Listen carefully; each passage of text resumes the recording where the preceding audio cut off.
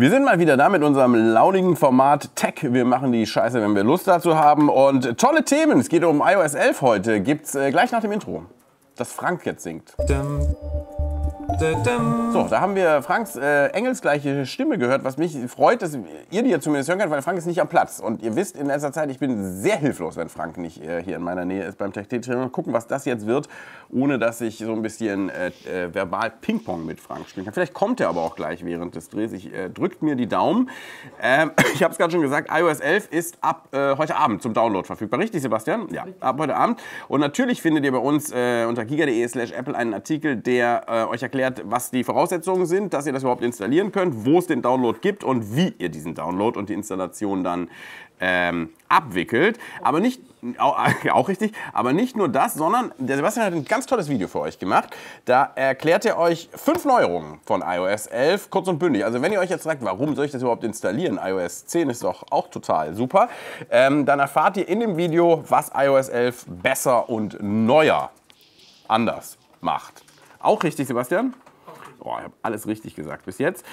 Braucht Frank überhaupt nicht. Ähm, also dieses Video ebenfalls unter giga.de slash Apple. Natürlich unten noch in der Beschreibung verlinkt und äh, im entsprechenden Artikel auf äh, giga.de. Und dann schauen wir ins Android-Ressort. Da gibt es äh, ja, wohlklingende Nachrichten vom Galaxy S9. Das soll nämlich eine ganz beeindruckende Kamera haben, die auf so einem äh, Mehrschichtverfahren äh, basiert. Das ist so ähnlich wie das, was, äh, was Sony im XZ Premium drin hat. Sony hat zwar ein Patent auf diese Kamera, aber Samsung hat die Technik so abgewandelt, dass es da keine Patentschwierigkeiten, äh, Streitereien geben dürfte. Und vor allem soll diese Kamera vom S9 dann eben auch, wie das Sony XZ Premium, ähm, eine super Zeitlupenaufnahme bis zu 1000 Bildern pro Sekunde ermöglichen. Wir haben, das findet ihr im entsprechenden Artikel, auf dem MBC damals ein ganz tolles äh, ja, Demo-Video dieser Zeitlupenfunktion des Sony-Gerätes gemacht, wo der Christoph, manch einer erinnert sich noch, ein paar saftige Watschen sich abgeholt hat äh, von erzürnten Messehostessen. Den weiß man nicht, was Christoph denen da erzählt. Und das haben wir in Zeitlupe festgehalten. Ganz tolle Bilder. Und solche Bilder sollen dann eben auch mit dem äh, Samsung Galaxy S9 ähm, möglich sein, das wohl im, ja, im November demnächst schon in die Massenproduktion gehen dürfte, also im Prinzip fertig ist und dann im Februar 2018 wahrscheinlich wieder zum MBC nächstes Jahr vorgestellt äh, werden wird. Wir sind sehr gespannt. Und dann gute Nachrichten für alle äh, Gmail-Nutzer.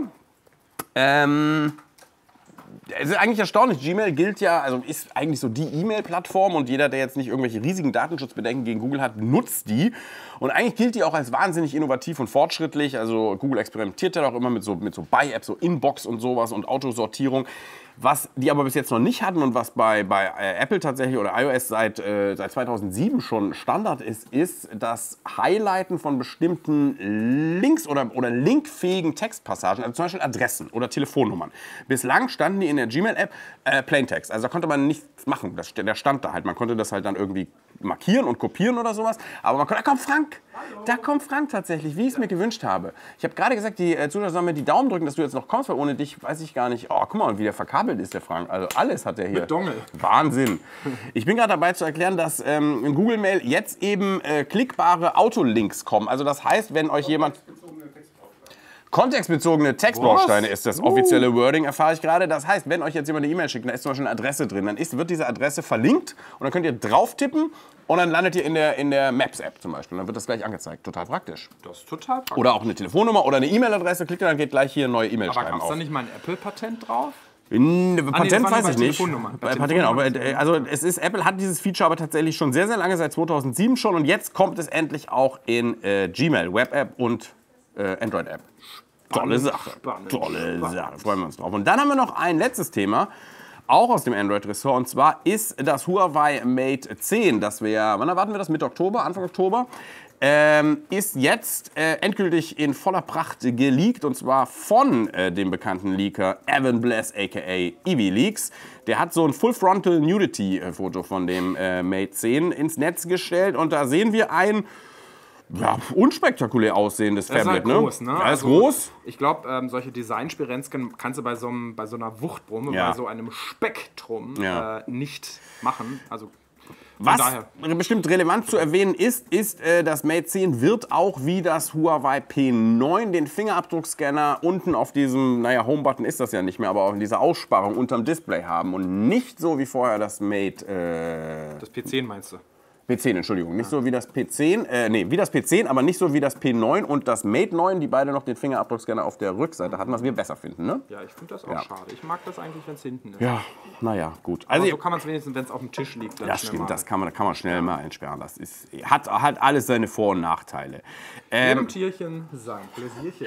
Ein äh, Bild vom äh, Mate 10, also dieses Bild von Evilix findet ihr äh, unter giga.de slash Android. Und das waren die Tech-Themen des heutigen Tages. Natürlich habe ich auch noch zwei schöne, ne, drei schöne YouTube-Kommentare. Also hier gab es einen schönen, wir hatten ja letztes Mal am Donnerstag, glaube ich, gedreht und da haben wir so wieder mit so Guerilla-mäßig, äh, Frank und ich uns hier das, äh, was war es, das Note, Note 8?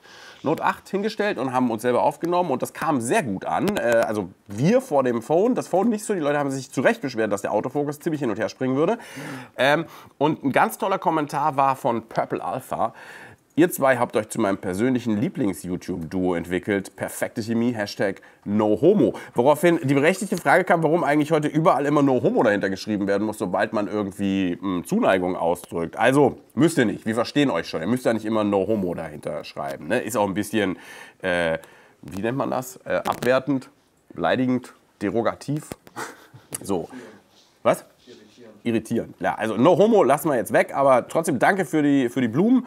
Freuen wir uns drüber. Stimmt ja vielleicht auch gar nicht. Jetzt eine Frage, die geht an dich, Frank. Ich bin sehr froh, dass du jetzt noch gekommen bist. Äh, von Alex Richter. Eine Frage an Frank, der ja wohl mit Apple nicht viel anfangen kann. Welches Handy hat Frank denn eigentlich?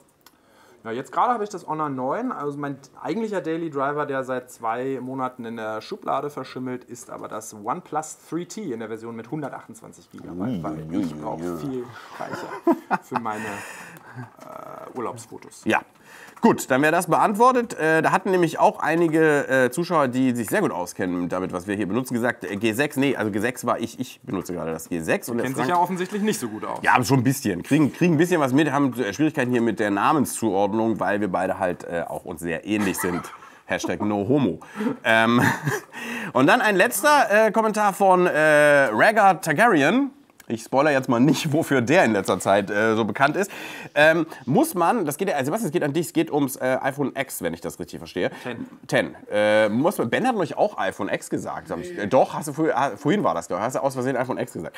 Ähm, muss man dann, um Wireless Charging zu benutzen, jedes Mal die Hülle abnehmen oder gibt es so spezielle Hüllen, mit denen das trotzdem klappt?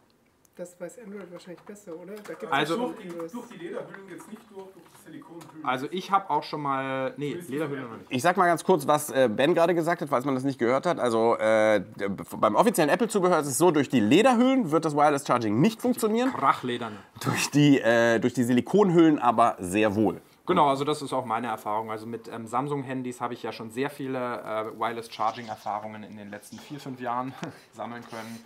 Und mit Hülle geht das eigentlich immer problemlos. Also mit Silikon. Ah, Hülle, Hülle, Gut. Hülle, Hülle. Lieber äh, Rega, dann hoffen wir, dass deine Frage damit äh, beantwortet ist. Und das war der Tech täglich vom 19.09. Wir sehen uns sehr wahrscheinlich morgen wieder. Freue ich mich schon wahnsinnig drauf. Schönen Feierabend. Bis dann. Ciao, Partner. Toll. Toll war das.